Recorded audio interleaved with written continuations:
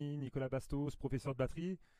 J'espère que vous allez bien. Voilà, je vais vous faire une petite vidéo rapide, car m'a été demandé, suite aux trois vidéos que j'ai pu faire en amont sur le positionnement ergonomique entre le batteur et sa batterie, on m'a demandé euh, si je pouvais parler également et donner mon avis sur l'écartement qui sera intéressant pour euh, les pédales.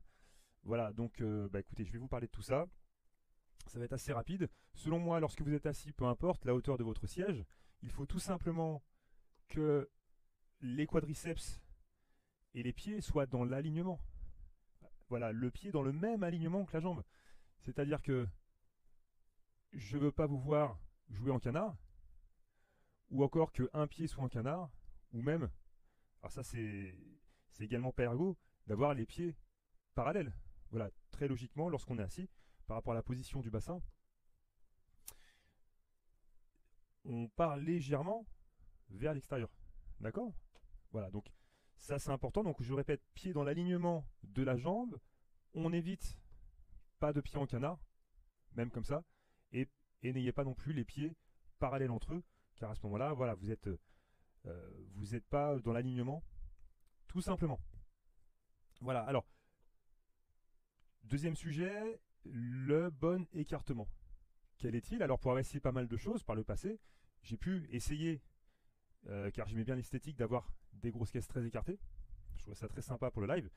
Et avec le temps, j'ai pu constater que lorsque je relâchais la tension, voilà, les, genoux pardon, rentraient à l'intérieur. À ce moment-là, on pourrait se dire, bah, c'est pas gênant, il suffit de créer un léger gainage pour qu'il revienne. Mais je trouve qu'il vaut mieux éviter toute forme de tension lorsqu'on fait de la batterie. Donc voilà, éviter de solliciter des muscles stabilisateurs alors même qu'on n'est même pas en train de jouer. On a déjà suffisamment à faire par rapport au temps de jeu.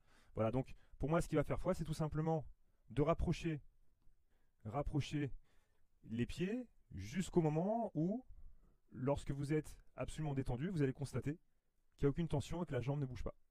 Dans mon cas, si je décale, admettons, ne serait-ce d'un pied ma jambe gauche, donc légèrement je la déporte, si je relâche la tension, ah, je constate que le genou part vers l'intérieur. Donc de nouveau, il y a un muscle stabilisateur qui est sollicité pour avoir la jambe dans l'alignement. Voilà, donc à ce moment-là, hop, je rapproche mon pied, et à l'inverse, si on est trop, pour savoir si on est trop à l'intérieur, eh bien, constatez, mettez-vous, admettons, par là, relâchez toute forme de tension, et là on constate que, ah, de nouveau, ce coup-ci, les genoux partent vers l'extérieur. Donc, on rapproche, on déplace les pieds, voilà. Voilà, donc retenez ça. Lorsque vous êtes au niveau de la double, vous êtes bien installé, les jambes ne doivent pas bouger, il n'y a pas à stimuler les muscles stabilisateurs pour être dans l'alignement, l'alignement jambes, tibial antérieur, pied, au niveau de la pédale. Voilà les amis, bonne pratique, n'hésitez pas si vous avez des questions, je suis à votre dispo.